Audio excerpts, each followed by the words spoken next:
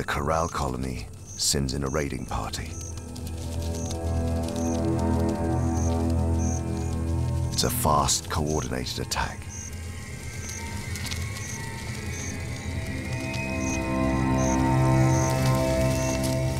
The smaller colony doesn't stand a chance.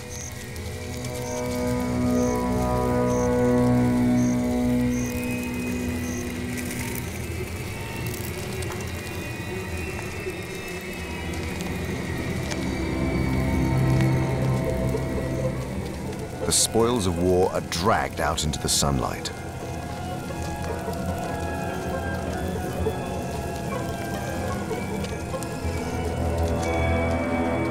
Not everyone gives up without a struggle. But resistance is futile in the face of such overwhelming odds. Nothing is left behind. Eggs, larvae, workers, pupae, all carried back to the corral nest.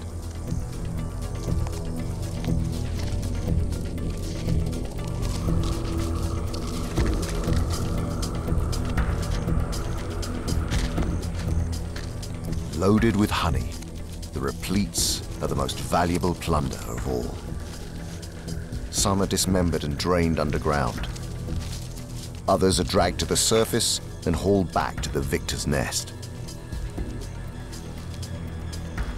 But they can be a real challenge to maneuver across no man's land.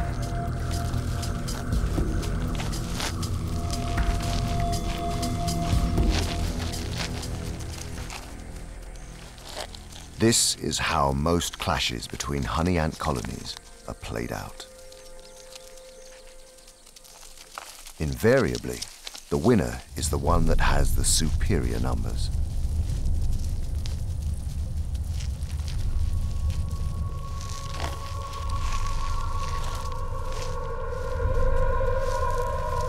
Sometimes captured broods are added to the victorious colony's nursery to be raised as their own.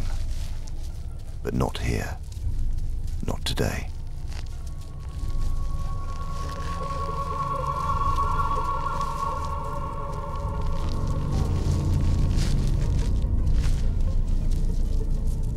Everything pillaged from the raided nest is processed for long-term storage. The difficulty with captured honeypots is getting at the honey.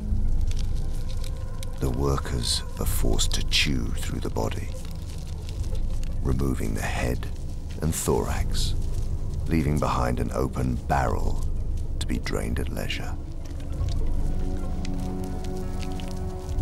The raid couldn't have come at a better time. It's filled the Corral colony's larders, ensuring its 2,000 inhabitants will be well fed through the approaching winter. But just as importantly, a rival nest that could have threatened the Queen's reign has been eliminated.